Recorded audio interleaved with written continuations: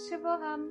Welcome back to Life of Chikki, and we are on the game board of Sahu and Chikki's gift to Granny.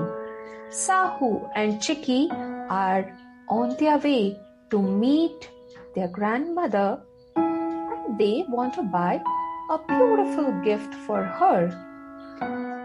On their journey, they meet different characters from the units of first standard textbook of NCERT Marigold. They have crossed unit 1 and 2 and 3. They met the happy girl, three little pigs, the boy who takes part in a stream, a few animals in the animal home, Lalu and Pillu, and now they are on their way to meet fresh new characters in Unit 4. Do you want to know what happens now?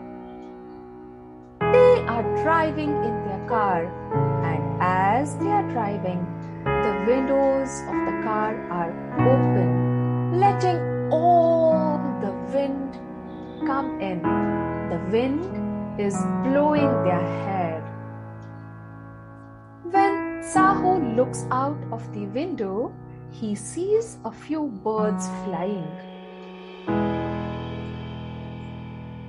And then he remembers something.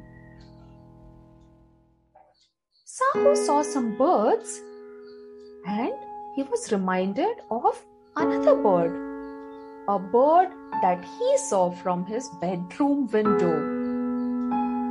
One day, when he woke up in the morning, his bedroom window was open and there was something sitting on top of it. What was it? He told Chikki, Do you know? Once I saw a little bird come hop, hop, hop.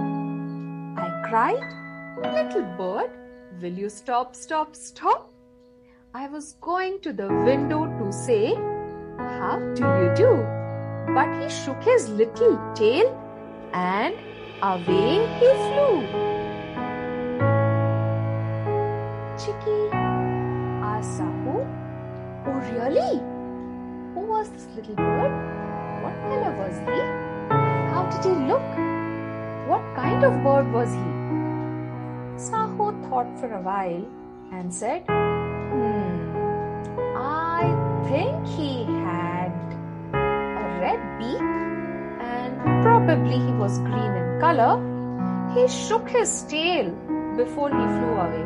Oh, yes, now I remember he was a parrot.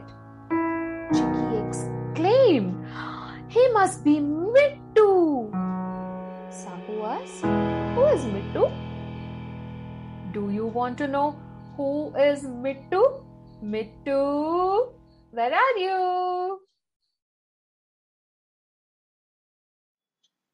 If you want to join us on this journey of life of Chikki, then please subscribe to this channel. Share it with everyone who loves to learn like the Pandavas. Visit our website arisegurukulam.com to